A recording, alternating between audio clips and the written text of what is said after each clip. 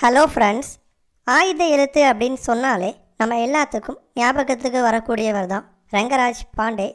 இவர் பிறந்தது பீகாரில் இருக்கக்கூடிய பக்சர் அப்படிங்கிற ஒரு இடத்துல. இவர் பிறந்த பிறகு இவருடைய குடும்பம் தமிழ்நாட்டுக்கு வந்துட்டாங்க. இவருடைய அப்பா அம்மா ரெண்டு பேருக்கும் இன்னமும் தமிழ் சரியாக பேச தெரியாதான் ஆனாலுமே தமிழ் மீது இருந்த பற்றின் காரணமாக ரங்கராஜ் பாண்டே காமராஜர் பல்கலைக்கழகத்தில் எம்ஏ தமிழில் பட்டம் வாங்கியிருக்காரு. கல்லூரி படிப்பை முடித்த பிறகு விளம்பர நிறுவனம் ஒன்றையும் இவர் நடத்திக்கிட்டு வந்திருக்காரு. அந்த மாதிரி ஒரு சமயத்தில் தான் தினமலரில் நிருபராக வேலை பார்க்கக்கூடிய சந்தர்ப்பம் அமைஞ்சிருக்கு. நாலாயிரம் ரூபாய் வேலைக்கு இவர் சேர்ந்திருக்காரு. தினமலரில் மட்டும் பதினெட்டு வருஷம் இவர் வந்து வேலை செஞ்சுருக்காரு.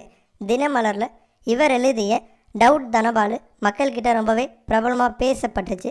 அதன் பிறகு தான் தந்தி டிவியில் இவர் இணைஞ்சார். தந்தி டிவியில் இவர் இணைஞ்ச உடனேயே ஒரு வருஷத்தில் டபுள் ப்ரமோஷன் வாங்கியிருக்காரு. ஆயுத எழுத்து மற்றும் கேள்விக்கு என்ன பதில்? இது ரெண்டு ரெண்டு நிகழ்ச்சியும் மக்கள்கிட்ட நல்லா போய் ரீச் ஆனது பெரிய அளவில் ரங்கராஜ் பாண்டே பிரபலம் அடைஞ்சார் ரங்கராஜ் பாண்டே ஆயுத எழுத்து மற்றும் கேள்விக்கு என்ன பதில்? இந்த நிகழ்ச்சிகளை தொகுத்து வழங்குறதுக்கு ஒரு எபிசோடுக்கு மட்டும் ஒன்றரை லட்சம் ரூபாய் சம்பளமாக வாங்குறாரு. இது மட்டும் இல்லாமல் தந்தி டிவியோட சீஃப் எடிட்டர் அப்படிங்கிற முறையில் இவருக்கு மாத சம்பளமாக ரெண்டு லட்சம் ரூபாயும் கொடுக்குறாங்களாம்.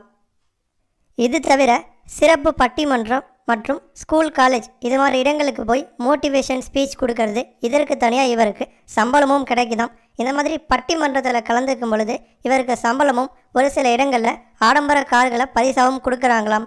ரங்கராஜ் பாண்டே கிட்ட நிறைய ஆடம்பர கார்கள் இருக்குது அப்படின்னும் சொல்கிறாங்க சென்னையில் மட்டும் இவருக்கு மூணு வீடுகள் இருக்குது அப்படின்னும் சொல்கிறாங்க இந்த வீடியோ உங்களுக்கு பிடிச்சிருந்துச்சு அப்படின்னா லைக் பண்ணுங்கள் ஷேர் பண்ணுங்கள் மறக்காமல் தமிழ் ஸ்பைசி சேனலை சப்ஸ்கிரைப் பண்ணுங்கள்